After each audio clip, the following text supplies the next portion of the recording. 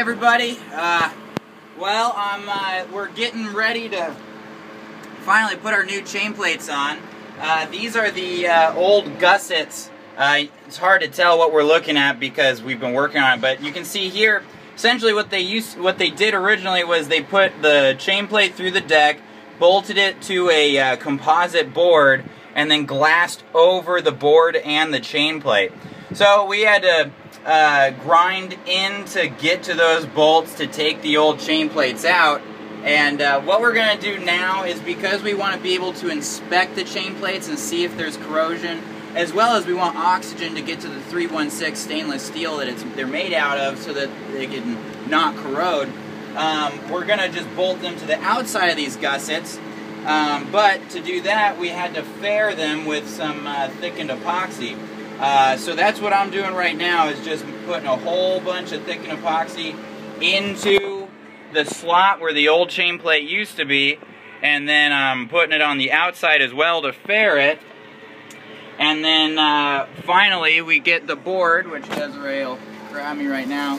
Got a little board that uh, is just the right shape for the gusset.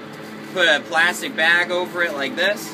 And then once I get enough uh, epoxy on here just to save us time, we make it perfectly flush and fair by just kind of working this board here until all the excess epoxy is squeezed out and I can feel it kind of rubbing up against a little bit of the glass.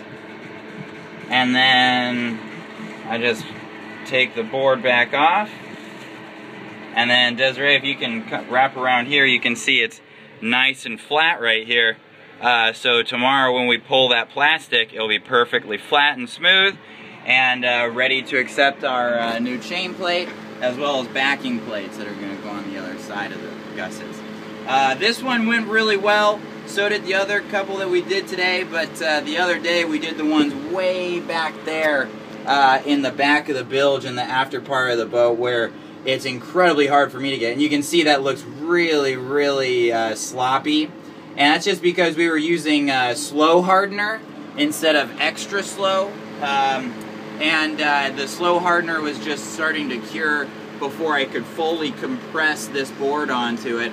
So essentially little globs of epoxy started to cure first and that made it uneven. So we'll have to go back there and sand it real good and maybe put a little bit more epoxy on it. We'll see if it's fair enough after we sand it. But most of them turned out really well, and I think we'll be ready for uh, chain plates right away. So the next step is just going to be cutting up through the deck to make the new slots for the chain plates.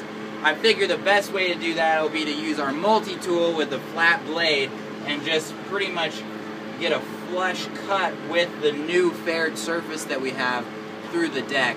And that'll at least give us an idea of where the slot's going to need to be, and then we can get creative from there. Anyway, I'm sure we'll have an update for that once we get to it, but uh, these gussets are finally starting to be done, which I'm happy about. All right, see you guys.